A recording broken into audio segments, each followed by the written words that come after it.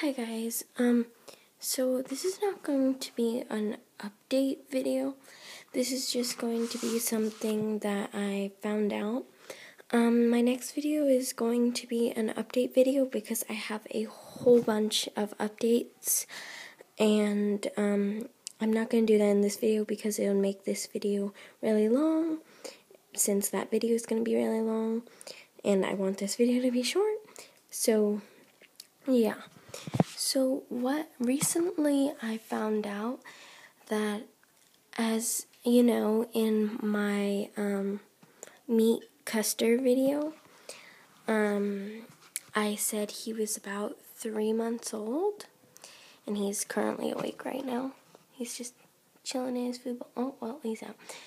Uh, I said that he was about three months old, and after I examined him like more thoroughly and watched a few videos and did a little bit of research um, on ages and stuff, I did realize that he is about a year old.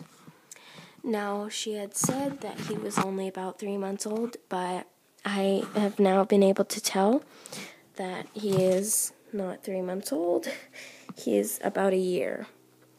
So, one of the reasons I can tell is his ears, if you can see, they kind of have some dandruff, and even when he's um, fully awake, they're still kind of laid flat like this. His ears never go fully up. Like, I watched a video of a three month old hamster, and its ears were stiff and straight up, and his just are not like that. I can also tell by he has a few um, bald spots on his face, and those are around his eyes and just all, all around on his face.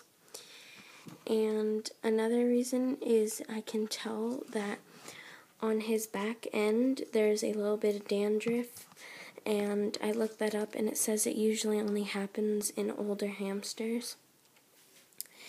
So that's pretty much all I wanted to tell you guys.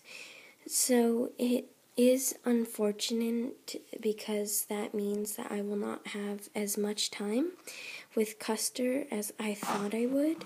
So he's only going to live for about another year, which is really sad because he's um, really sweet.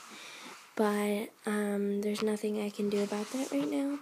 So I'm just going to enjoy him while I have him. So, yeah, guys, that's pretty much all I wanted to say.